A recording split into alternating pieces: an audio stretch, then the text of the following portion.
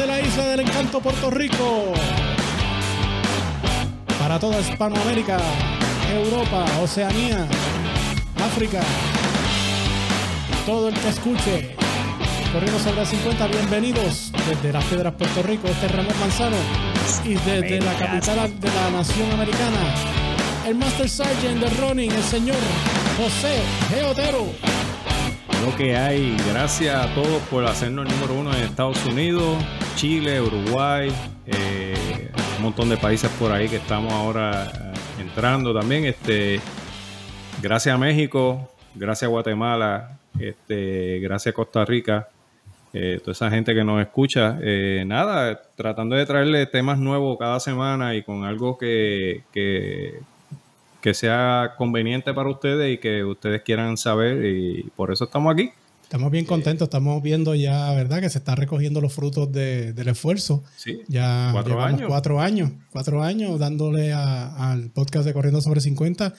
Y pues las estadísticas de podcast son un poquito, ¿verdad? Difíciles de entender y todavía es un mundo donde no está exact, no es muy exacta no, la eh, exactitud no existe. No, no, no es muy exacta la manera en que se miden todavía el consumo de podcast en, el mundo, pero podemos decir que por lo menos por la información que estamos recibiendo, pues corriendo sobre 50, eh, si no está entre los primeros 100, está uno, dos, sube, baja, pero para un podcast, ¿verdad? Que, nosotros hacemos con mucho cariño desde acá de, Puerto Rico, pues es un logro pues grandísimo. Y ahora que estamos viendo que que estamos, que estamos entrando, estamos dando frutos. Así que gracias a todos ustedes que nos escuchan cada vez que sale un episodio. Gracias por seguirnos en las redes sociales. Recuerde que estamos en todas las redes sociales como Corriendo sobre 50 y en, en Twitter como podcast CS50 y estamos en todas las plataformas de podcast como Corriendo sobre 50 Podcast.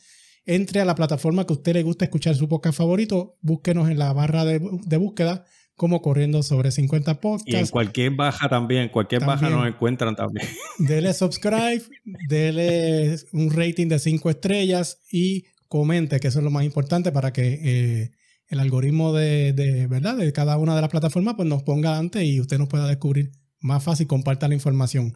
Así que... Estamos negociando con Medalla Ultra para que salga el, el nombre del podcast en las latas. Para que... Te fuiste alto. eh, chacho, a todo por ahí. Te fuiste alto. veraneando, veraneando con corriendo sobre 50.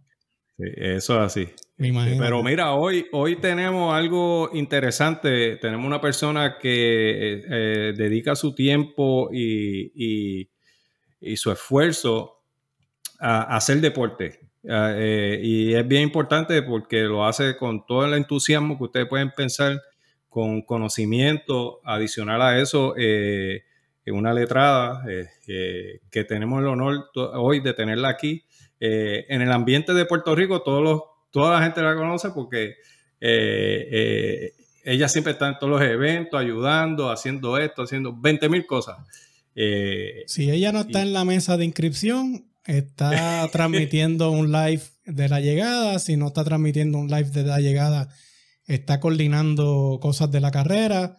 Siempre la vemos en, carreras, ¿verdad? De, causas nobles, eh, que a, veces se crean 5K eh, de emergencia porque ocurre una situación, se necesita una ayuda. Y, ella siempre está ahí, este, ayudando. Yo eh, la vi, la he visto aquí en el, en el Sabrosito de las Piedras, que es el primer, la primera carrera que se hace en el año aquí en Las Piedras y en todo Puerto Rico. Este, pero hoy la vamos a conocer, eh, hoy, ella va a, darle a conocer toda esa cosa que ella hace, que, que son 20 mil otras cosas y que, que, algunas veces nosotros la vemos y la saludamos y, eh, ¿cómo, está? Y no sabemos lo a profundidad. A profundidad. Estamos hablando de Mari Cordero Barreiro. Bienvenida Mari a Corriendo sobre 50. Muchas gracias, muchas gracias de verdad por la invitación, me siento súper honrada verdaderamente, y lo saben, y más que pues viniendo de, de corriendo sobre 50, me identifico demasiado, no sé por qué. me llega profundo, me llega profundo. me, suena que tienes, me suena que tienes la tarjeta del club. Eso mismo, pero mira, con mucho orgullo, ya tú sabes. Ah, no, no, no. Este, eh, hay, que, hay que mostrarse con orgullo cuando uno llega a, la media peseta, al medio peso y, más cuando estamos en este ambiente del atletismo, que, lo, que corremos, que lo hacemos por salud, que lo hacemos por, por brindarle, ¿verdad?, apoyo a otras personas que están corriendo, empezando a correr. Y de eso se trata corriendo sobre 50 y de, y de eso se trata, yo sé que las labores que tú realizas en, tu vida diaria. Así que bienvenida, Mari. Háblanos, háblanos de ti. Este, ya nos dijiste que estás, ya nos dijiste la edad. Así que. sí, ya, no, no, ya, rompimos, eh, ya rompimos el hielo ahí. Este, pero nada, háblanos de ti. Este, ¿de dónde eres? ¿Cómo empezaste a correr? ¿Qué tú haces? Cuéntanos.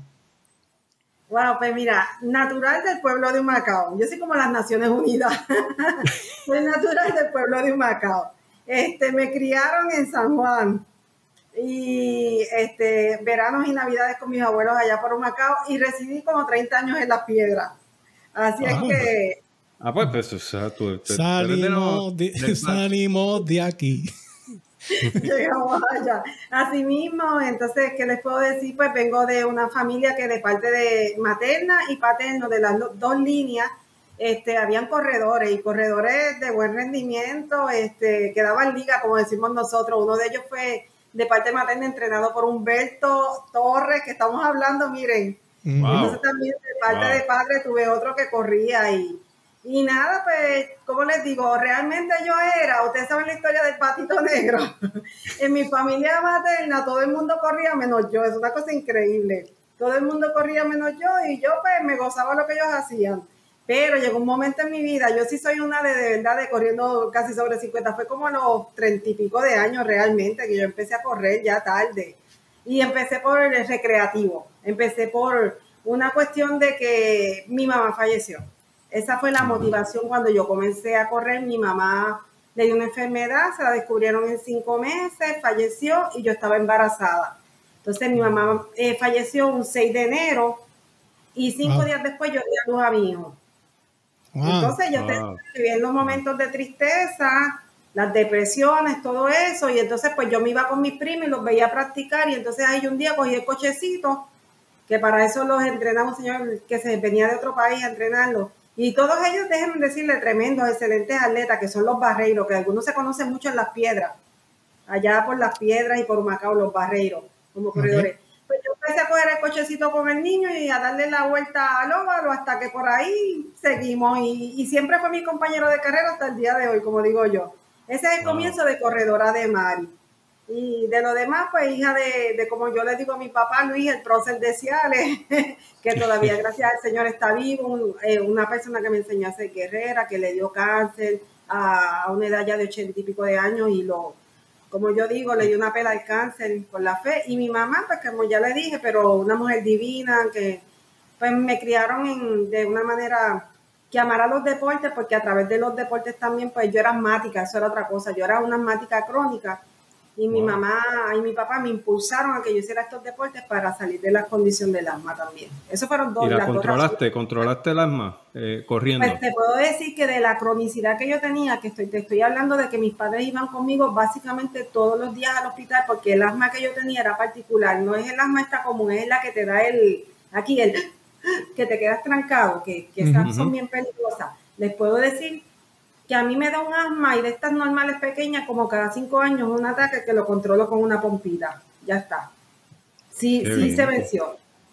Pero fíjate, que, mira, qué interesante que, eh, usualmente los papás cuando tienen un hijo con una condición así, en, vez de ponerlos a enfrentarse a, cosas que quizás le pueden este, exacerbar la condición, pues, pues los recogen un poquito, mira, no salgas afuera, que hace, que hace sereno o cosas así, y tus papás pues te impulsaron a, al revés, a, enfrentar la situación y a, buscar el deporte como una solución para, tu condición.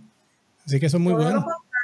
Exacto, y cuando llueve, a mí me encanta correr, me mojo y no me trae ninguna consecuencia. No sé si me adapté. y déjenme, decirle en esa línea que mi hijo nació con un soplo, para que vean la importancia, la gente no sabe, mi hijo nació con un soplo y hasta los 15 años fue paciente de, cardio con, con un cardiólogo este, porque era seriecito el asunto, y el cardiólogo me dijo, mira, impúlsalo en estos deportes. Y desde los cuatro años le empezamos a meter en deporte y mi hijo se le cerró el soplo a los 15 años por completo y dejó de ser paciente de, de cardio.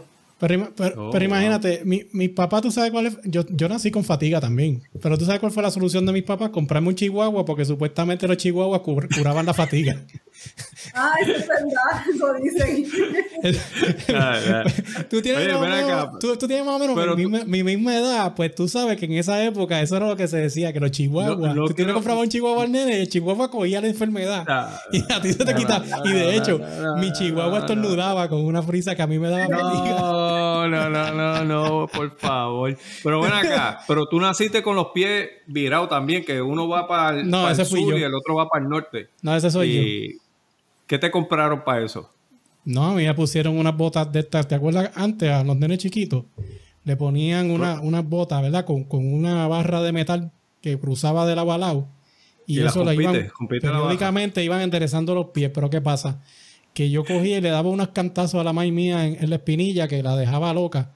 Y en un momento la maíz mía dijo, mira, olvídate de, de las botas. y me las quitó y, nunca se me interesaron los pies. Así que corro como un pingüino. Así que pues gracias. Pero corre, pero corre. Pero corre. Sí. Eh, mira, Mari, hablando, hablando así como los locos, eh, tú de coger por, eh, primero por salud, por, por mejorarte y todo esto, dite un brinco eh, a, Mari que conocemos hoy en día, que pues que está envuelta en un montón de, de asociaciones, de, de fundaciones. Eh, cuéntanos, ¿cuál, ¿cómo surgió todo, cómo todo eso evolucionó en tu vida y cómo te envolviste tanto con el deporte como estás ahora mismo?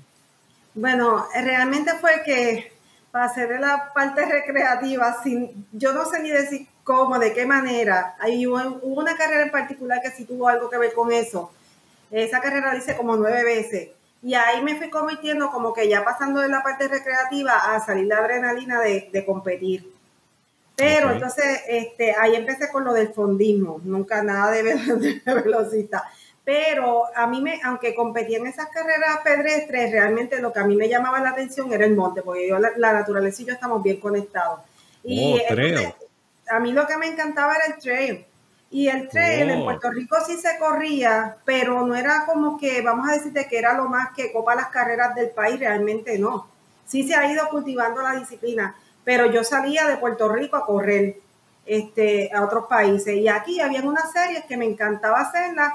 Entonces, pues, como no todo había en trail, pues yo también me metí en las pedestres y ahí me convertí entonces en alguien de, de competencia, pero no de overall sino en mi categoría. En mi categoría yo les puedo decir que para esos tiempos, pues yo me llevaba mi primero lugar, segundo, tercero, y cuarto, pero me llevaba algo, me llevaba. Salió lo, salió lo del apellido. ¿Ah?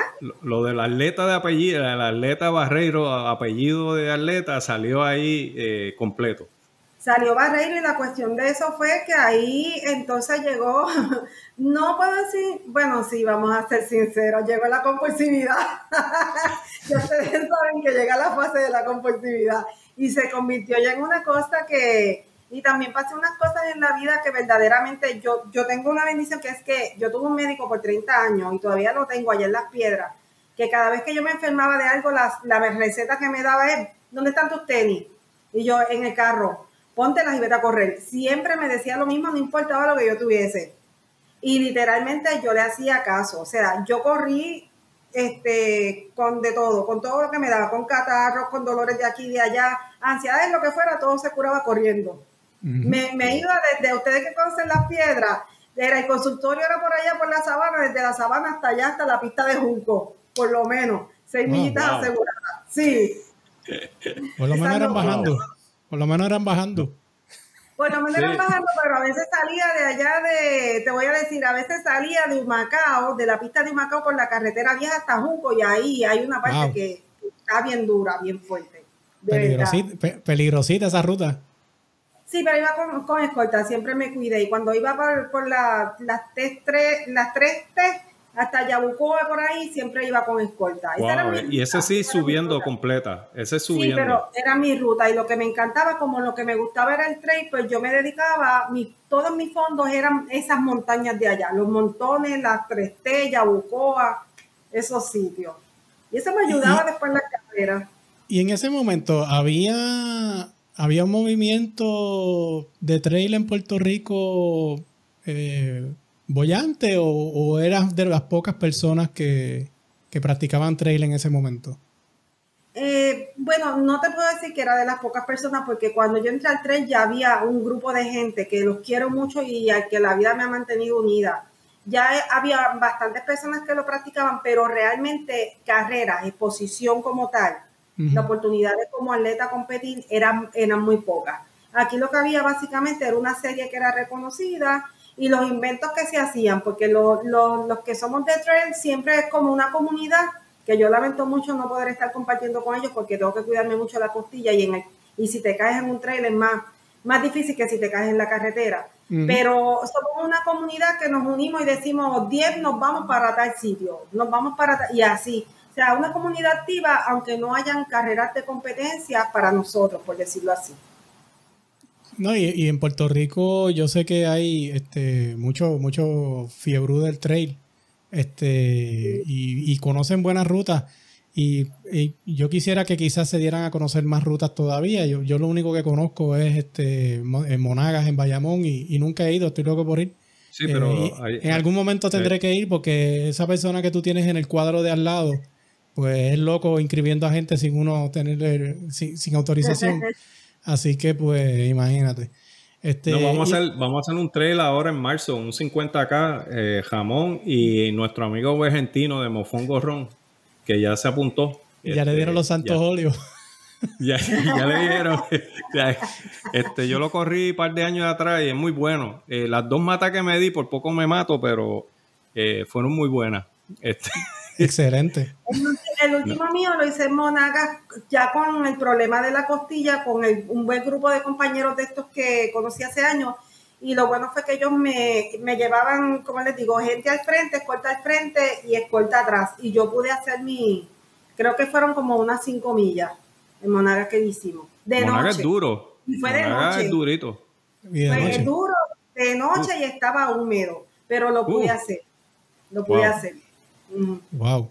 Este, Mari, y, cuéntanos, después de, tu vida así en los comienzos atléticos, eh, veo que aparte de atleta eres abogada y eres entrenadora certificada de atletismo. ¿Cómo, cómo llegamos ahí? ¿Cómo, cómo, el, ¿Cómo el running también? Porque yo me imagino que en esas noches en que estabas estudiando para abogada, pues la manera de soltar el, el, estrés, y soltar, ¿verdad? Eh, liberarse un poco era salir a correr. Eh, cuéntanos un poquito sobre eso. Pues mira, este, de abogada, yo digo ya casi estoy de salida, que quién sabe que verdad, porque ya son casi 30 años en la práctica, cosas que la gente no sabe. No, no, yo, estuve leyendo tu profile de Facebook y este, tiene tantas cosas que, yo desconocía, porque tú tienes un historial larguísimo eh, deportivo y, y en el ambiente profesional. Así que cuéntame, porque aquí tenemos como tres horas de podcast. pues mira, este, en términos de la profesión, son como casi 30 años y en esos 30 años lo increíble que la primera oportunidad fue como fiscal especial en el Departamento de Justicia. Este, yo digo puertas que me abrió Papito Dios porque yo soy Juan del Pueblo. Ustedes me entienden, ¿verdad? Todo lo, que, lo que he logrado en esa faceta de, de profesional ha sido por los fueros, porque ha sido, este, pues, yo soy hija de Luis Cordero, de Luis Cordero y Victoria no, no, fue con una, no fue con una banderita. No, no fue su propio. No, y entonces, pues luego de un tiempo, pues sí me dediqué a la práctica privada. Esa fue, ahí le metí más de 20 años a la práctica privada. Intensa, totalmente intensa. La gente no sabe que he litigado muchísimo, que he tocado muchas materias. Menos criminal, básicamente todo en el derecho. Todo, hecho de todo. Pero este, pues últimamente regresé al, gobierno, ¿verdad? Y por eso me han visto un poco más reservada en las redes, porque tengo una posición que tengo que respetar y, se me siguen unas normas. No hablo de la posición que tengo, no, no es que crean que estoy allá bollante, bollante, pero es algo de respeto. Si estoy En, una agencia como empleada de gobierno, vamos a decirlo así, es un puesto de, de es un puesto eh, transitorio por ahora, pero de carrera en cierta forma, o sea, no es de confianza y estoy haciendo una función. una función pues que estamos haciendo con mucho amor, me gusta mucho lo que hago, este, me queda cerca de la casa, tengo un horario, que sea, todo se acopla a la etapa de vida que estoy viviendo y a la condición de salud que tengo. Y fue algo que yo estuve pidiéndole allá arriba y me lo concedieron. Este, pues, profesional eso y por mucho tiempo, pues mientras no tuve esa posición, que es algo que todavía las personas no van a poder procesar, porque antes todo el mundo me llamaba y me decía, mira Mari, tengo este problema, dame una consulta, y yo podía libremente empezar a decirle, mira, pues haz esto, lo otro. Ahora si me llaman, pues tengo que decir, mira, lamentablemente estoy cohibida de poder dar consulta porque pues se me prohíbe, hay un conflicto y no puedo hacerlo. Pero no quiere decir que de otras maneras yo pueda ayudar a las personas. No, claro, claro. Cuando, cuando tenía la oficina, cuando tenía la oficina, ¿dónde, ¿dónde quedaba la oficina antes? Cuando en la práctica privada. 30 años yo he tenido como 15 oficinas. Mira, yo tuve oficina, déjame ver, yo estuve en Humacao la primera, Humacao, en La Piedra, en San Lorenzo, en la plaza del mercado de Humacao, que ahí, ahí hice historia, porque yo creo que la primera oficina legal y única que hubo en la plaza del de mercado Humacao fue la mía. Eh, cerca, de mi compañero corredor marcado. Y entonces, en San Juan, la, de más años fue en San Juan, en Santurce. Hasta los otros días, Santurce. Dime, Lotero, que iba a decir algo. No, no, eh, eh, iba a decir que no, lo, lo, que ella está diciendo de, y mayormente la, abogacía se rige por una ética que es bien rigurosa, que no es como la gente piensa que ustedes pueden hacer lo que les da la gana. Eso, la ética, las leyes de ética de ustedes son un poquito más rigurosas, igual que los doctores y otros, otros profesionales. Mari, ¿y, y, y cómo tú sacas tiempo para tanta cosa? Mira. Porque, porque no, hemos, hemos, llegado a la otra sí, Porque, pero no, para, para coger la fórmula, porque imagínate. Yo a veces le digo a mi esposo, mira, tú me puedes hacer un favor me puedes quitar la batería. me puedes quitar la batería un momento, la hacer esto, porque yo a veces yo le digo al médico, mira, yo no doy shutdown. Entonces lo que me dice es que verdaderamente a pesar de todo, ¿verdad? Pues que yo tengo mucha energía porque empecé a hacer ejercicio tan joven. Realmente mi primera disciplina, que no lo dije ahorita, mi primera disciplina fue taekwondo a los 13 años. Oh. Yo tengo cinta verde taekwondo. También. Por eso me ven bien metida con la cuestión de los Master Ariel y Master Graciani, que son mis, ¿cómo se dicen? Eh, mis padrinos del taekwondo y todos estos que tuve antes, porque llegué a tener profesores que llegaron a ser campeones de Puerto Rico, pero esa fue mi primera disciplina deportiva, el taekwondo. Y después yo, ¿saben quién es el profe de la lucha libre? Claro. El profe. yo sí. El profe de, la lucha libre. De Vega Baja, de mi pueblo de mi pueblo. Si un día lo entrevistan, que les digan, con ese me metí a ring a hacer lucha libre y con... También. ah, no, no, para, para. se acabó. Pregúntale que lo tumbé, que estos cinco pies lo tumbaron de verdad en el ring y me dijo, mira, contra allá, contra allá me tumbaste de verdad. ella, no era, ella no era la tigresa, pero era la gatita. Mira, y con, y con Franco, el de no se queden enjabonado también, pues también. Sí, también, es mi amigo, Franco es mi amigo. Con Franco yo hacía este boxeo, boxeo está cuando con él. él o sea, tú, fuiste, tú, fuiste, la que le tumbaste los dientes al profe. no, yo no le tumbé los dientes al profe, yo lo quiero mucho, pero sí lo tumbé en el lo tumbé. Lo tumbé. No, fueron momentos de mi vida. Yo entrenaba, les tengo que decir la verdad. El gimnasio y el fisiculturismo fueron parte de mi vida por muchos años pero siempre velando que era un atleta, porque ser atleta de trail, tú necesitas, no es músculo, pero necesitas estar bien, tú sabes, para correr monte. En, Estados Unidos es bien diferente aquí. Allá te metes por el medio de un río, tienes que brincar palos, este, eh, es una cosa extrema, o sea, extrema. Este, lo va a probar en marzo. Sí, va a probar si, si, Dios quiere y, me permite, Dios, Dios me saque con vida de ahí. Este, fíjate, lo, bueno, lo bueno, cuando, cuando yo empecé a correr, este, yo empecé tarde también, yo empecé como a los 46. Este, yo lo que quería era eh, que el running se convirtiera en un estilo de vida, no, no simplemente una fiebre. ¿Sabes que a veces uno coge una fiebre y, y ay, pues quiero ser ciclista y compro una bicicleta, le da uno o dos años y después la tiene que vender, o, o yo quiero bucear y se compra equipo. Este, por lo menos tú, tú, has tenido el deporte como un estilo de vida eh, toda la vida. O sea, integrado, integrado a la. integrado de alguna manera también, ahora que, me dices que estás como convaleciendo de, una, de, una, de una condición, te han mantenido también en, relacionada al deporte de una manera u otra. Y eso era lo que yo también quería cuando, cuando empecé a correr y gracias a Dios pues ya llevamos nueve años aquí este, en, esta, en esta brega. Así que este mambo.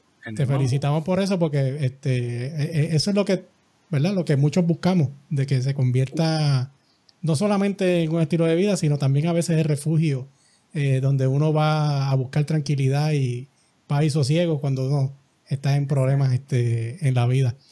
Este, Mari, también aparte de, lo que te hemos conocido recientemente y fue de la manera que yo eh, tuve contacto contigo, es por medio de la fundación eh, Corro Camino y o Ruedo por Ti. Eh, ¿De dónde surge la fundación y, cuándo se creó y, de qué se trata la fundación? Mira, este, vamos a ver si aguantamos las emociones. La fundación ah, se creó en el 2000. Eso es lo que queremos, lágrimas, eso es rating. Ay, Dios mío. No, no, no. Esto, esto, ha sido intenso. La fundación se formó en el 2016. La fundación se formó porque a mí me operaron, by the way, eh, en el 2016 me operaron de la vesícula. Eso, yo, yo, yo estuve, yo estaba trabajando para, de abogada y yo empecé a sentir este, como unas presiones en el área esa de la vesícula, pero simplemente era una presión, no sentía dolor y ustedes saben que nosotros los atletas somos como unas personas que nos resistimos a pensar en que, nos, que tenemos algo. Y yo sentí esa presión ahí, yo dije, ya se me va a quitar como todos los dolores se me quitan. Y a tal nivel que ya llevaba como dos meses y ya yo estaba guiando, aguantándome el pedazo de abajo, apretándolo para poder guiar. Y yo hice en el 2016, antes de esa operación, me acuerdo, antes de esa operación, yo hice unas nacionales de la Puerto Rico Master Association y las gané. Gané cinco calizos. Pero apretándome ese lado y braceando con una sola mano. Obvio, un tiempo de pero lo gané. Lo gané. Entonces, de ahí a la semana caí en el hospital, me operan de la vesícula, me compliqué un cuadro bastante serio.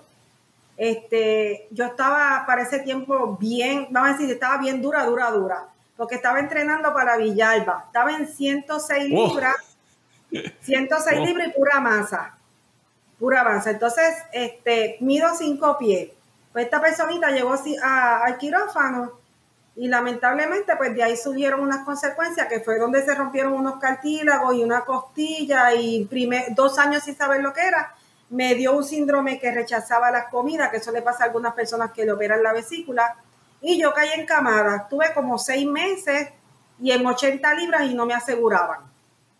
Yo me deshidraté absolutamente. Yo llegué a ser, los que me vieron del atletismo, yo llegué a ser pellejo y hueso, literalmente. Yo, mi masa muscular se fue.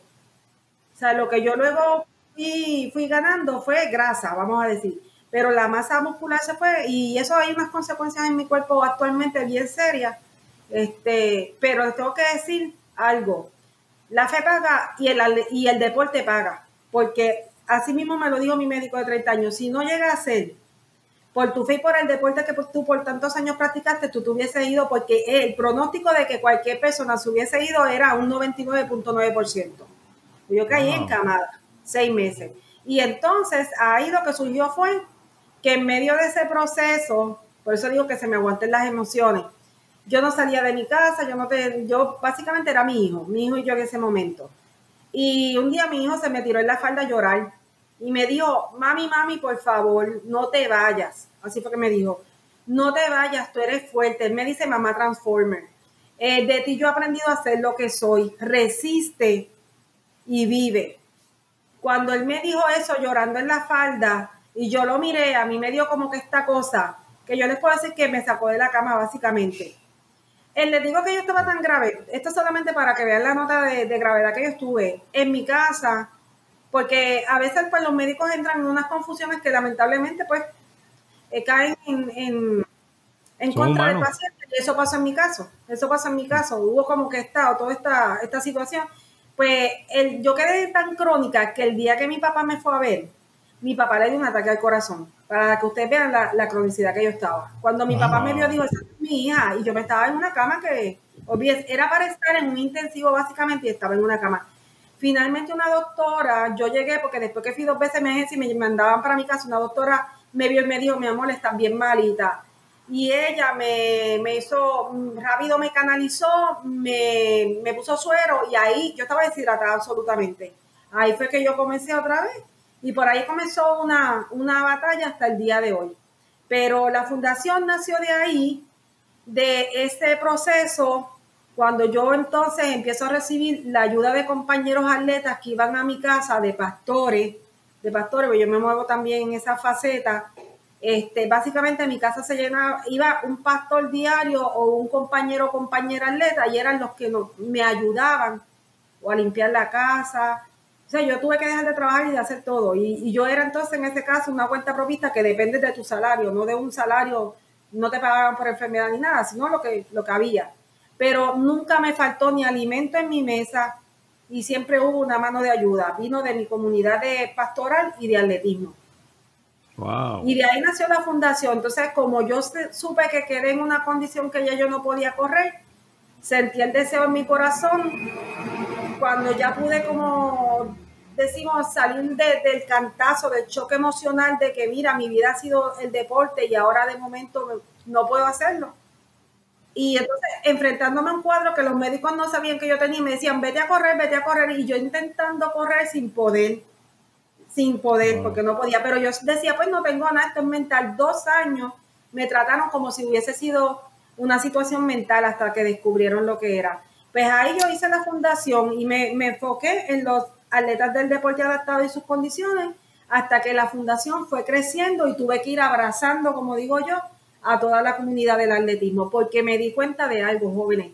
Me di cuenta de que todos los atletas de alto rendimiento, por decirlo así, y el que llegue último, todos tienen una situación ya sea física o emocional, emocional o espiritual.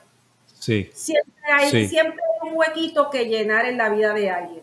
Todos cuentan, todos cuentan. Cuenta el uno y cuenta hasta el último, que todos cuentan. Y tu ejemplo, eh, gracias por compartirlo, porque hay veces hay gente que pierde el norte cuando surge una situación de salud o de eh, emocional o lo que sea.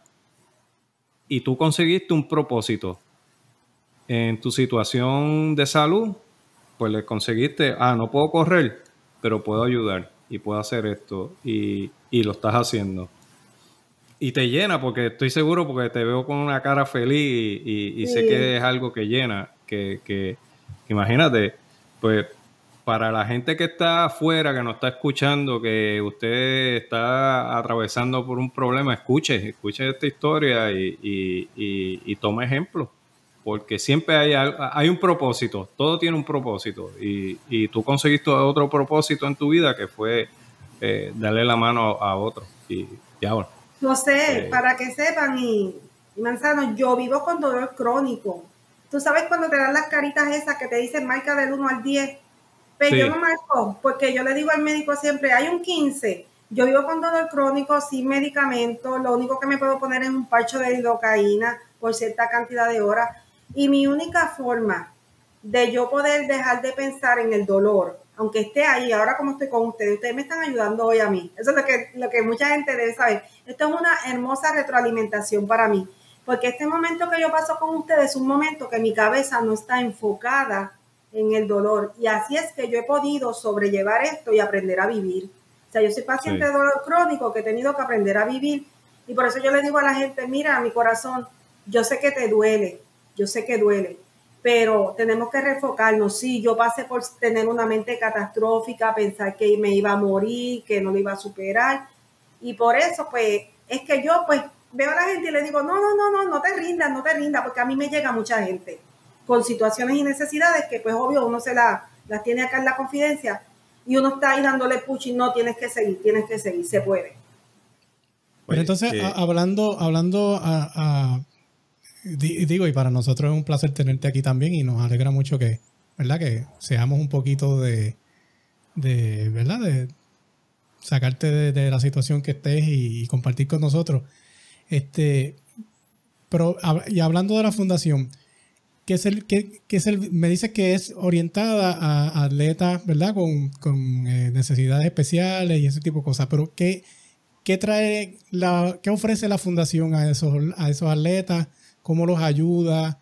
Eh, ¿cómo, ¿Cómo se mueve la fundación para que también la gente que, que, nos está escuchando o que nos va a escuchar, pues, pues sepan y quizás se, se acerquen a ti?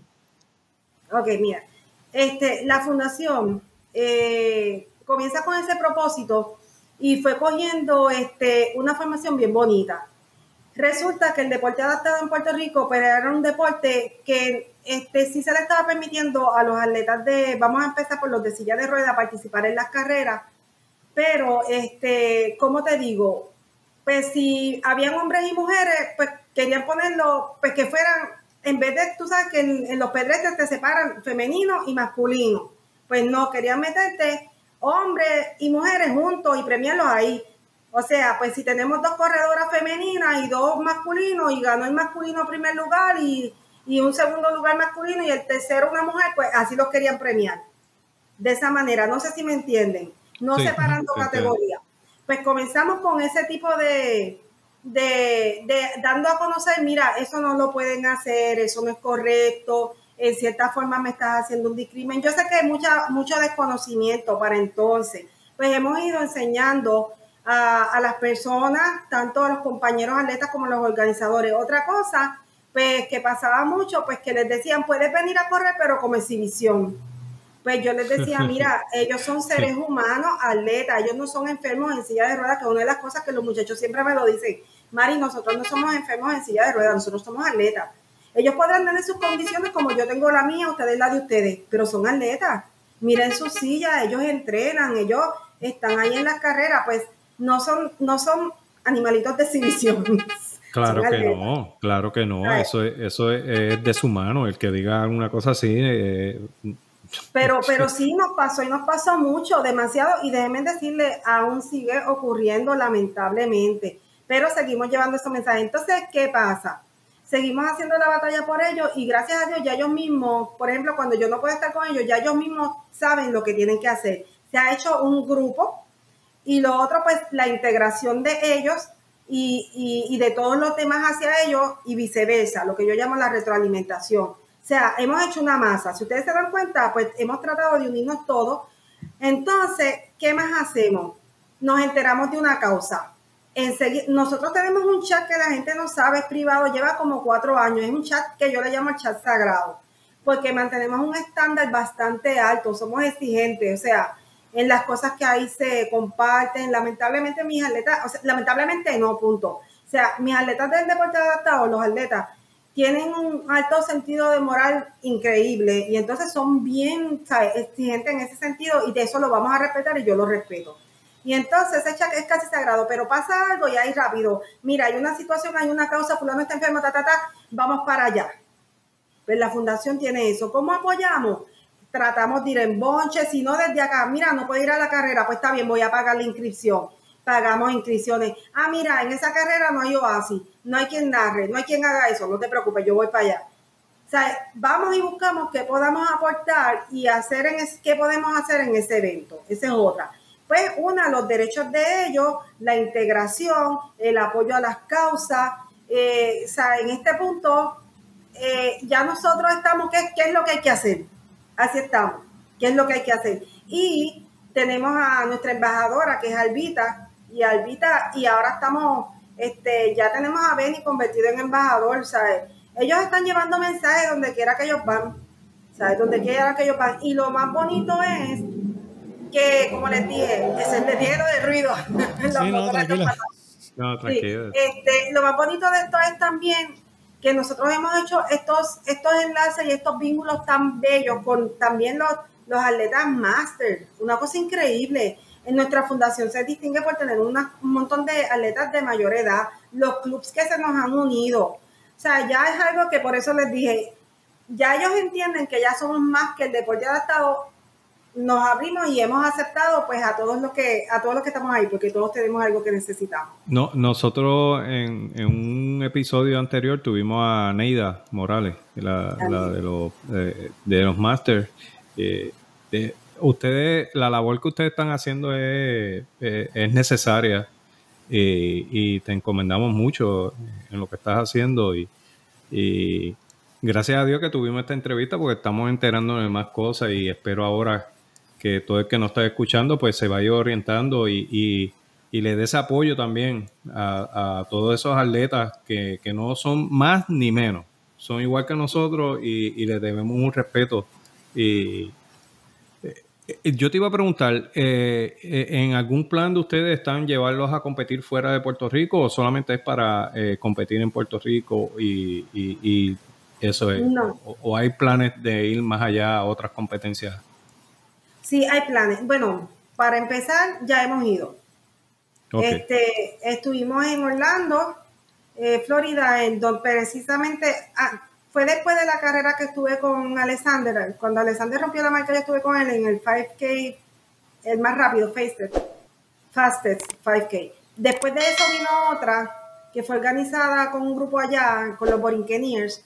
Y ahí ah, hubo los de la fundación. no tuve los del deporte adaptado, no tuve los del deporte adaptado, pero sí, este, hay planes por lo menos. Nuestra embajadora va a salir a correr. Y eso es algo que quiero llamar la atención y yo sé que hay muchos de los que toman tiempo que nos ayudan con esto, pero es bien importante que los tiempos de ellos, voy a, voy a aprovechar porque esto es una de las situaciones que tenemos también con los atletas del deporte Me, adaptado. Mete mano.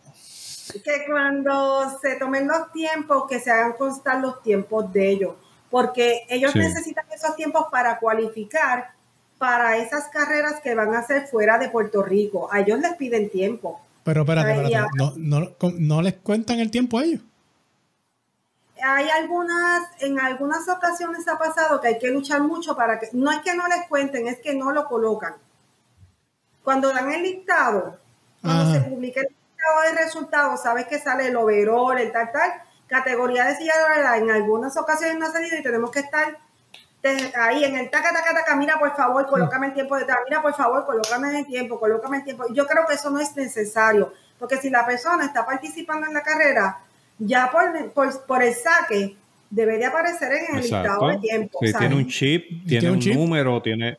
Sí, pero pues, pues nos ha pasado y nos ha pasado muchas veces y todavía es, esa situación este pues nos acontece. Le digo, es con una que otra vez y siempre logramos que entren, pero es triste tener que esperar dos semanas para ver un tiempo o peor que eso, y espero no caerle mal a nadie, porque yo siempre todo lo hago con respeto, igual que mis atletas lo hacemos con respeto. Ellos saben que siempre hemos ido con respeto, pero yo creo que no hay necesidad, una, de estar diciendo, no me puedes meter al Vita y premiarme en tercer lugar después de dos varones. No es justo, ni para el Vita ni para ninguna mujer que venga a competir en silla de ruedas. No, y, este, sí. y estos micrófonos están abiertos para ustedes. Tan pronto pase algo así, tú, nos tiras un mensaje a Ramón, a mí, y nosotros los vamos a denunciar y los vamos a tirar en las redes porque o aprenden de una manera o aprenden de otra. Porque. ¿Cómo fue, que tú dijiste, ¿Cómo fue que tú lo dijiste ayer? Nosotros no le debemos nada a nadie. No, nosotros no estamos aquí para pasarle la manita a nadie y decirle, ay María, porque tú haces eventos, pues yo te tengo que, yo no, yo no tengo que estar haciendo nada aquí la función de nosotros como, como en cierta manera, como comunicadores, es llevar la verdad y, ayudar a los corredores, que, nosotros somos corredores también. Por y es parte de nuestra función ayudarlos. Por eso somos la voz del corredor. Y, y, te digo, cuando tú tengas una situación así, de hecho, eh, vamos a tener ya a alguien que eh, hace estos hace eventos y eso, y una de las preguntas va a ser esa. Ya tenemos, un, pie forzado, como dicen, que de asegurarnos de que esa persona entienda que también hace falta que, ustedes necesitan esos tiempos y eso es algo que, que eso lo hace una computadora, eso sale eh, automático. Eh, no veo el problema de que... No sé si es tal vez por, porque por la cuestión de separarlos o algo, porque también a veces salen mezclados con los demás según el orden que llegan pero ellos deben de estar aparte. Y ya les digo, ya, la, ya es menos la intensidad de lo que tenemos que hacer, pero todavía de vez en cuando nos pasa, pero siempre yo estoy pendiente, mira, los tiempos están, o si no, pues ellos me llaman, mira, Mari, los tiempos no están. O sea, pues así es que nosotros nos mantenemos. Entonces yo empiezo, amor, pues tengo que, tengo que decir la verdad, yo empiezo, mira, colócame tiempo, colócame. Pero ya pasa menos, o sea, lo que les quiero decir es, pues que las personas van aprendiendo, van creando conciencia. Y yo a veces digo, yo, como me dice, me dice alguien que me conoce mucho a veces, me dice, Mari, es que hay cosas que son lógica brutal, por lógica brutal. hay cosas que se tienen que dar. no, no, y es verdad. Y, y, de, y, de, hecho yo recuerdo hace un tiempo atrás eh, una carrera famosísima aquí en Puerto Rico que, que después que se, que se efectuó, eh, tú hiciste un post de que, de que llevabas varios años pidiendo que se añadiera una categoría eh, de silla de ruedas a la carrera y, entonces pues yo no había caído en cuenta de que en verdad no la había. Yo dije, oye, ¿verdad? que en esta carrera no hay. Este, que es un, un 10K muy conocido en Puerto Rico. Y, y, nosotros también pues hicimos el post uniéndonos al pedido de que, mira, hay una comunidad que, que, tiene limitaciones, que quiere competir. Este, y, y fíjate, me, me, gusta que hayas hecho la explicación de la fundación porque yo tenía otro concepto de lo que podía ser la fundación. O sea, yo estaba pensando que la fundación era más bien de ayuda económica y ayuda eh, a, los, miembros cuando me doy cuenta que es más bien una lucha de, por los derechos de, este tipo de, atletas para que se les dé más presencia y tengan más, más este, exposición y, sean más justos con ellos en las carreras. Este, ¿Han venido más corredores aparte de los que ya tiene en silla de ruedas, se han acercado más, más candidatos, para decirlo así, eh, que quieren pues ser parte y que ustedes en cierta manera los representen. Eh, mira, sí, te tengo que decir que sí, y no necesariamente de silla de ruedas. Eh, con otro tipo de, limitaciones, por ejemplo, pues, ha, habido personas con problemas de visión, ciegos legales, sí. Este, ha habido personas con otras condiciones y sí, pero vuelvo y les digo, eh, eh, ¿cómo les digo?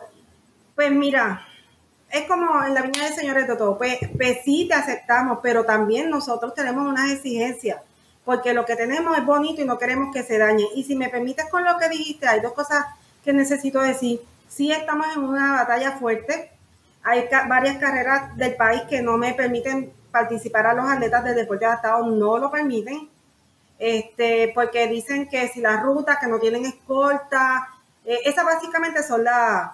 Con esta carrera que tú dijiste, ya por lo menos tenemos un avance de que tengo una reunión pautada. Hay un organizador que me llamó y me dijo, mira, vamos a hacer una reunión y tú expones allí lo que sea. Yo le dije, sí está bien, pues vamos a la reunión. Ya por lo menos es bueno, puertas abiertas. Pero hay muchas donde le dicen que no y es un no y es un tranque. Total y absoluto porque la dificultad de la ruta, mira, tú tienes esos atletas que ya han sido probados en un 21K de Coamo no sé cuántas veces, que te han hecho un montón de otras carreras, de unas cuentas que estoy subiendo de espalda. Eso es lo que te iba a decir. O sea, que si, si hay una ruta mala en este país, es Coamo. Y yo, he visto, yo he visto a Albita subiendo el ajoguillo eh, en su silla. Y le he visto y, sé que en la pasada edición ella tuvo problemas con, las gomas de la silla y solucionó y terminó. O sea, ¿qué ruta más difícil y más complicada que la de Cuamo? Y tú me vas a decir a mí que, Yo te voy a decir un, argumento diferente. Mi argumento es diferente. Mi argumento es que esto es cuestión de riesgo. Y el riesgo puede ocurrir para cualquier atleta para cualquier persona, mira lo que le pasó a Rolo. O sea, si tú asumes el riesgo para un pedestre, tú tienes que asumir un riesgo para, el atleta del deporte adaptado. ¿Sabes? ¿Cuál es la diferencia? El pedestre se puede ir jodando por una, por esto se puede caer, un carro darle un impacto, a Alexander le iba a pasar, o sea, pues esto es una cuestión de que si yo dejo correr a aquel, ¿por qué no dejo correr a este? Porque tengo miedo a la ruta. Oye, cada, primero, el que entra a una carrera ya está entrando por una voluntad personal. Vamos a decir la verdad, yo estoy entrando por una voluntad y asumimos unos riesgos personales, eso es algo. Y pues, este, si, las, si los organizadores tienen unos descuidos, pues ya pues son cosas. Pero ¿saben qué? Para los eventos que son organizados como se supone, se supone que por lo menos en los míos hay, hay endosos de seguro, ¿sabes? Hay unas pólizas que cubren y fuera de eso, pues siempre pedimos que no pase nada y si pasa algo, pues habrá alguna forma, ¿verdad? Después que no se pierda una vida. Pero ponerle como un tranque que no participe porque no tengo una escolta. Mira, yo la aparezco, si, la, si yo tengo que buscar la escolta, yo, yo, yo lo he dicho, yo la busco. Para eso estamos nosotros. Y yo me llamo a dame escolta, dame la escolta a los muchachos. Ya está, resolvimos. Yo los llamo a ustedes y yo sé que ustedes me la buscan por ahí. Pues claro, no, eso, no, esto está, eh, esta, las plataformas de nosotros están, están a su disposición también y, siempre estarán. Este, ah, me acordé, porque es que no quiero que se me olviden esos detallitos. Tú dijiste algo bien importante, es que ah, se me ha acercado gente, y esto es doloroso, se me acerca mucha gente para pedir. O sea, personas que me escriben al chat, mira, necesito tal cosa, mira, necesito tal cosa, mira, realmente pues, mira, ahora mismo nosotros somos una fundación sin fines de lucro, el, el, el bolsillo de nosotros es cero. Yo no le pido ni a los atletas del deporte adaptado, o sea, nosotros no le pedimos absolutamente nada a nadie. Y aclaro por aquí, nadie tiene autorización para pedir a nombre de la fundación. La fundación, sus arcas son cero, punto. Este, nosotros hacemos algo entre nosotros, estamos allí juntitos y nosotros cada cual aporta lo suyo. Pero nosotros no tenemos fondos recogidos, sí tenemos una meta de llegar a eso. ¿Qué pasa? Que cuando lleguemos a un punto de tener unos fondos va a venir precisamente esa situación. Yo tengo esta necesidad, por eso hemos decidido aportar de otra manera. Mira, y esto, pues vamos todos para allá, vamos a enviar por ATH y nos movemos de esa manera que yo entiendo que es mejor, más personalizada, cada cual da a su forma según puede y no, que la fundación entonces se ve en la obligación de que venga cualquiera y porque no le diste, porque entendiste, pues que mira, hay otras cosas más importantes que atender, entonces se van a encontrar en la fundación porque la fundación no le dio el dinero para XY cosas. Así que gracias eh, por ser la otra. Sí, yo te, yo te iba a hacer una pregunta. Eh, si alguien quiere, pues, algún tipo de auspicio, porque yo me imagino que usted tiene unos costos y, y, y, y siempre eh, el movimiento, hacer esto lo otro. Si alguien quiere eh, hacerle auspicio, ustedes pueden, me imagino. Pudieran hacerlo, pudieran hacerlo y en ese, en ese momento, porque yo no le he permitido hasta ahora, les voy a decir la verdad, por aquello de que yo quiero mantener la institución tan y tan limpia y tan y tan libre, sea de señalamientos. Pero yo tengo ahora mismo pendiente, yo tengo pendiente una reunión, pues estoy esperando que Albita termine, ella ahora mismo está compitiendo este fin de semana bien fuerte, y ha tenido otros compromisos. Estoy esperando que ellos terminen unas cosas porque vamos a tener una reunión. Y entonces, precisamente para hablar de ese tema y otros asuntitos, eh, que es eh, una, queremos darle todavía, aunque la, la, la fundación ya tiene su formación, nosotros aún queremos hacerle una, forma, una plataforma más firme y tener unos, ¿cómo se dice? Que estén ahí en esos bailos, esto, esto, en los bailos. Exacto. Están los bailos, pero queremos hacer lo que se dice en enmienda y colocar, mira, nos vamos a permitir todo esto, esta es la experiencia que hemos tenido y de aquí para adelante, esto es lo que hay, pero estoy sujeta a esa, a esa reunión con ellos. Cuando hagamos esa reunión, posiblemente definamos eso, entonces pues nos preparamos, nos preparamos. Y sobre todo para, para que si alguien nos va a fiscalizar, pues que eso esté ahí claro, hay dos razones por las que no me puedo dar el lujo de que hayan. Es mi responsabilidad hacia los atletas y mi profesión. Claro. Claro, claro. Oye, Albita, pero. Eh, no, perdón, Albita no. Este, Albita es la. No, no, no, cambio, es mi hermana. Mari. Mari, eh, eh, queremos tocar también que, aparte que de la fundación, tú estabas a cargo de la comisión de deporte del, del Colegio de Abogados también, ¿verdad? Y estuviste haciendo deporte a través del Colegio de Abogados también. Sí, este, en esos cuatro años, se, la comisión se, ahí es diferente y es tal vez una visión que pues, mi gente de atletismo no sepa. Cuando es comisión de deporte, ahí no hay excepción. Es todos los deportes. Y, y se hacen eventos para participar, pero por otra parte, realmente nosotros, por ejemplo, recién eh, se iba a aprobar una, un proyecto, estaban pidiendo para un proyecto de ley que tenía que ver con la atleta embarazada para defender a, la mujer embarazada en el deporte, pero este, de la manera que el que lee ese proyecto se daba cuenta que estaban interviniendo en lo que se llama la autonomía deportiva y que estaban tratando de traer por, el, por los pelos algo que ya está realmente legislado y todo vino por un caso de, la, de que hubo reciente con un equipo de baloncesto y algo que pasó con un atleta. Entonces, la comisión, por ejemplo, hizo un memorial explicativo que se envió allá este, eh, al PDLAC 763, el que lo quiera leer. Es muy interesante y el memorial está en la página de la comisión. Nosotros intervenimos en todo eso. Cuando hicieron el reglamento del DRD para la protección de los menores, la comisión también hizo memorial, intervino, tuvimos reuniones. Nosotros estamos activos en la fase legal de las situaciones que hay en el país en, que surgen en algunos deportes.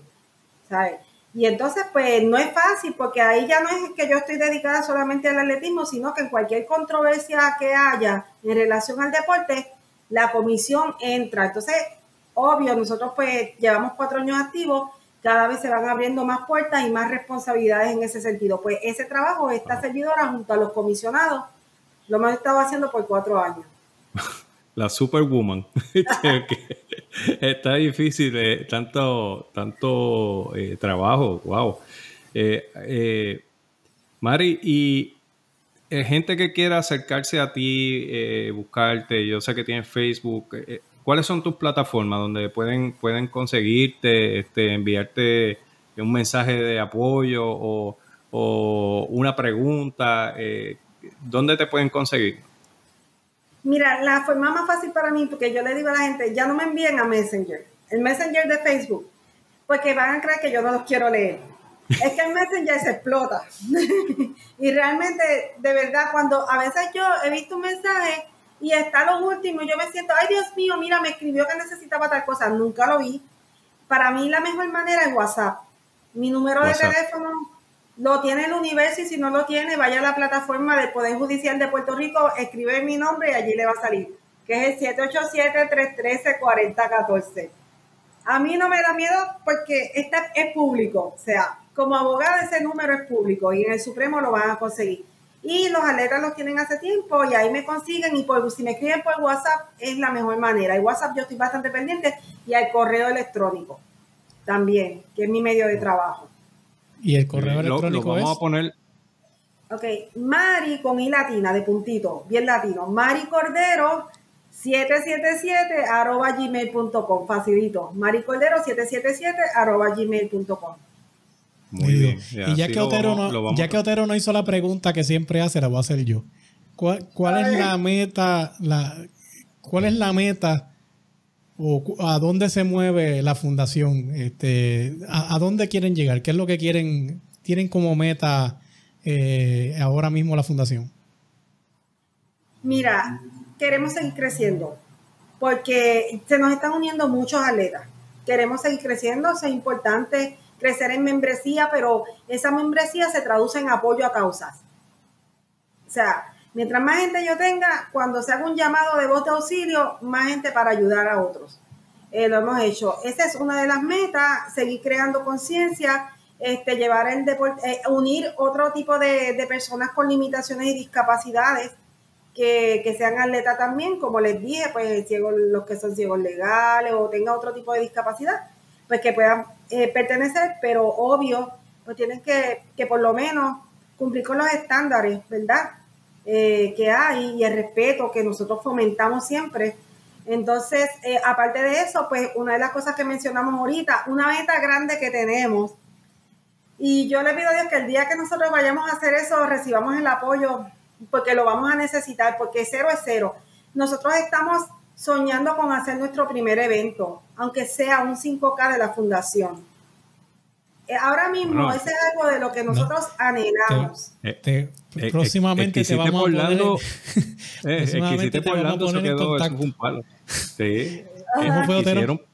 el, que hicieron, por Orlando fue un parrolo, rolo. Ah, el rolo. Eso fue un palo. Eh, y, y, se acercó un montón de gente y fue a tu llamado. Eh, sí. Que ya tú tienes, ya tú sabes que hay que la gente está ahí. Está ahí, la gente está ahí. Oye, te iba a hacer una pregunta. Yo encuentro que eso es serio y grande, porque que, pues, en ese hay muchas, tú sabes, queremos hacerlo algo bonito, distintivo, que marque la historia y que se quede. Qué bien, claro que sí. Eh, acuérdate, estos micrófonos están aquí, eh, son tuyos. Ah, y, que recuerde que el que quiere ayudar, aquí no hay chavo, tiene que ayudar de corazón. De corazón y, con esfuerzo. Aquí es ayudar para el 5K de corazón, así que si alguien aparece, que se comunique con Mari. Dímelo, Otero. Eh, Amari, yo te iba a preguntar, eh, ya porque a nosotros nos escuchan en un montón de países, eh, ¿tú te has contactado con otras fundaciones parecidas a la tuya en, países latinoamericanos, en el, en el, en el mismo eh, Caribe, que me imagino que están cerca y, pueden venir a algunos eventos, y en Estados Unidos, que porque lo que tú estás llevando es una, es una lucha que es de mucho, de mucho, no es de poco. Eh, y, sé que hay mucha gente eh, que tiene impedimentos, que quiere hacer, que son atletas y son atletas completos, que por, por desgracia de la ignorancia de muchos también tienen 20.000 problemas en diferentes eventos. ¿Tú has tenido ese contacto? Realmente, te tengo que decir la verdad, con entidades no, con atletas sí. O sea, atletas que se me acercan de otros países, este, lamentablemente, pues si están fuera, si la lucha es fuera de la jurisdicción de Puerto Rico, y muchas veces, si vamos a ver la verdad, tiene que ver con base legal, porque pues hay que ver las jurisdicciones, entonces hay que ver cómo se mueve el atletismo en, en esa jurisdicción, en ese país en particular, incluyendo Estados Unidos y los estados, cada estado es diferente en la base legal, jurisdicciones y cosas así, o sea, este, pero se me acercan y yo lo que digo, mira, cuando vengas acá a Puerto Rico eres bienvenido, este, participa. Nos pasó con la joven esta que hizo Coamo que se puso viral, no por nosotros, se puso viral, este, no sé si fue por el fondista, por quien Alvariza, pero luego ella quiso formar parte de la fundación. Ella está en nuestro chat. La joven que hizo Coamo con la prótesis, la, la joven que se convirtió viral, que la cogieron en el ajoguillo, el ajoguillo con Luego ella se, ella se unió a la fundación y con ella tuvimos unos intercambios, este, porque ella es maestra allá en República Dominicana y sí, y sí, como trabajé varias veces, este, eh, como de Carrión cuando tenía el maratón internacional, pues tengo muchos contactos y muchos atletas en otros países. Así es que con atletas de deporte adaptado, sí, con fundaciones de deporte adaptado como tal, no, sin embargo, con entidades de otro tipo de condiciones de salud que tampoco le digo que no, se comunican conmigo y yo le digo que necesitas que yo te pueda ayudar, apoyar. Porque usualmente lo que yo te puedo dar, que es lo que mucha gente a veces aprecia, me dice, Mario, aunque sea, anúnciame la carrera.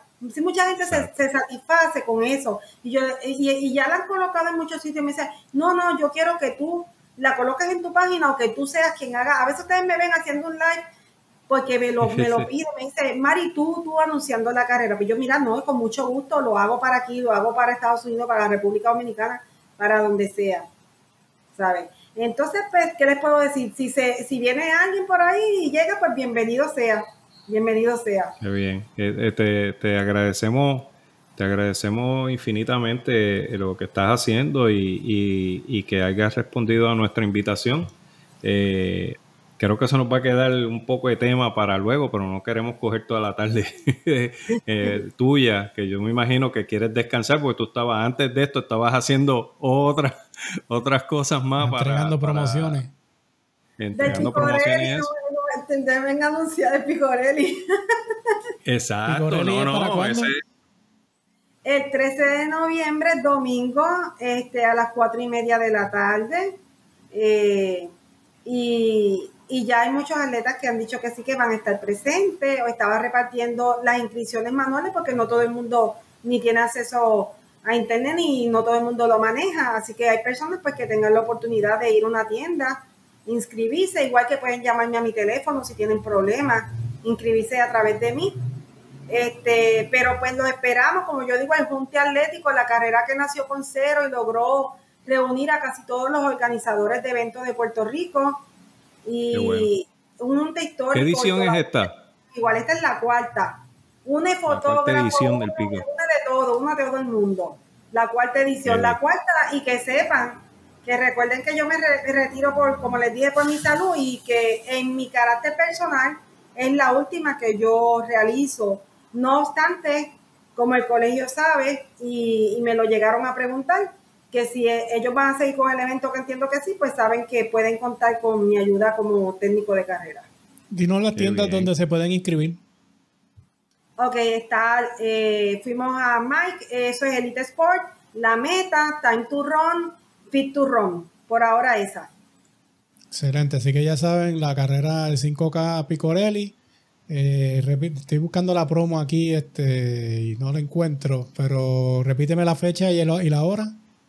13 de noviembre, eh, a las cuatro y media hay premiación en metálico, se mejoraron las categorías, por fe como yo digo, nos fuimos de 5 en 5, ya no va a ser de 10, el overall se, se mejoró, va a haber 100 dólares de incentivo por encima de esa premiación para los que rompan las marcas de las carreras, una le pertenece a Alexander, la otra le pertenece a Mónica Pazú. Difícil. Sucio difícil te quedan, dos meses para hacer, para hacer repeticiones y apretar el tubo. Así se quedó todo el mundo, ¿verdad? Con los, con los grillos. Sucio difícil. No, pero vamos a estar poniéndonos en la. Nosotros vamos a estar anunciándolo y vamos a poner también tu número para que te llamen para inscribirse. Que no llamen después de las 12 de la noche, ¿verdad? Sí, Mira, dejen descansar. No, no, que de las 5 en adelante que me tienen que escribir. O sábado y domingo, porque mi horario de trabajo es para atender las vistas. de 8 a 6. Pero yo estoy ahí en WhatsApp.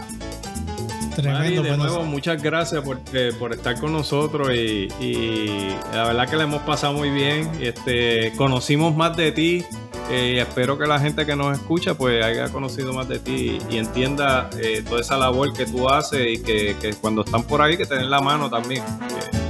Eh, gracias a ustedes, de verdad, gracias a ustedes. Me encantó, ya le dije que mi primera experiencia en podcast, que ustedes me bautizaron. Y gracias a mi gente del deporte adaptado y a toda la gente del atletismo y a mis compañeros de, todas las facetas que estoy. Así que gracias. Esa no lo tomamos, lo de coach, pero después te tenemos para. Es un rain check para la próxima. Seguro. Así que nosotros vamos a aprovechar este, este momentito para hacer los anuncios de siempre. Recuerden que Corriendo sobre 50 está en todas las plataformas de redes sociales, en Facebook, en Twitter y en Instagram. Donde único cambia es en Twitter, estamos como podcast CS50. Además estamos en todas las plataformas de podcast. Habidas y por haber, va a la barra de búsqueda, escribe Corriendo sobre 50 podcast y ahí los va a encontrar. Por favor, suscríbete. Por favor, danos un rate de 5 estrellas y por favor, comenta, que eso es lo que nos va a poner a nosotros adelante en la bola y que nos va a poner al frente para que la gente nos descubra y sigamos creciendo. Queremos darle las gracias una vez más a Chile por ponernos número uno como podcast de running en Chile. Somos el número 6 en deportes overall en, en Chile. También estábamos en Uruguay, estábamos número uno hace un tiempo atrás. Y en Estados Unidos eh, llegamos a estar casi 103, o sea, casi en los primeros 100 de podcast eh, de running en Estados Unidos a nivel de Apple Podcast, el número uno de habla hispana en esa lista, que nos, llena de orgullo y como le dijimos al principio, pues estamos viendo el fruto de, nuestro esfuerzo, así que siguen con nosotros, sigan ayudándonos a crecer. Así que Mari, muchas gracias por haber estado con nosotros en el día de hoy. Señor Otero, nos vemos el miércoles. Ya cuando salga este podcast ya hemos corrido el maratón. Pero pero nos vemos este miércoles. Y... Bueno, puede, puede ser un podcast póstumo. puede que cuando escuchen este podcast digan tan bueno que era. Tan bueno que era, ese muchacho tenía potencial. Yo me reía se tanto quedó allá en el, en, el, Air Force Marathon. Quedó. Yo, yo me reía tanto con él, bendito. Sí. Así que nada, este, esperamos ya cuando, cuando salga este episodio haber pasado esa experiencia. Vamos a guiar ocho horas desde Washington DC a Ohio. Así que nada es garantizado, ni siquiera el viaje a, Ohio es garantizado. Pero Lucy va para allá también. Vamos a correr Lucy y yo el maratón. Otero está en el bench porque, bueno, por la condición que tiene él también, pero esperamos que se recupere. vamos, a ahí, vamos a ahí. Vamos a darle bueno, en la meta. Por lo menos tenemos fotógrafos. así, que, así que nos vemos, mi gente. Cuídense. Manténgase con nosotros. Nos vemos, Mari. Nos vemos.